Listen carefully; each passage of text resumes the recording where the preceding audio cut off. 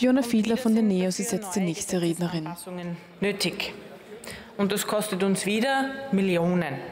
Ich weiß nicht, ob es Ihnen bewusst ist, aber das bedeutet weiterhin Freistellung von Beamten. Weiterhin Tests, weiterhin Zuschüsse für die Länder und damit weiterhin beispielsweise Teststraßen.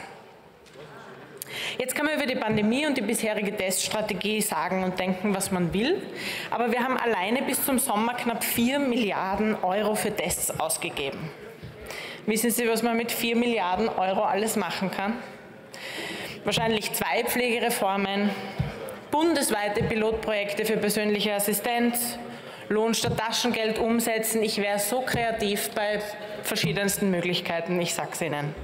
Aber weit gefehlt, es wird die Übergangsfrist für das Pflegepersonal noch einmal verlängert. Das betroffene Personal aus dem Ausland muss auch noch dankbar sein, dass es während der Anerkennungsverfahren weiterhin in einem schlechteren Job arbeiten darf, als es eigentlich könnte. Aber man soll ja nicht undankbar sein. Konzentrieren wir uns auf die positiven Aspekte.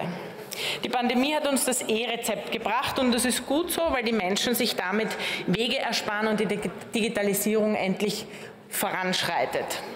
Dass wir diese Möglichkeit jetzt auch für Medikamente schaffen, die nicht von der Krankenkasse gezahlt werden, klingt wie eine Winzigkeit, aber es ersparen sich tausende Frauen den Besuch beim Arzt, um ein neues Rezept beispielsweise für die Pille zu holen. Für die Zukunft brauchen wir aber noch viel mehr Fortschritt. Wir brauchen Abstimmungen zwischen den Gesetzen und eben nichts mit Übergangsfristen und Querverweisen und verschiedenen Zuständigkeiten.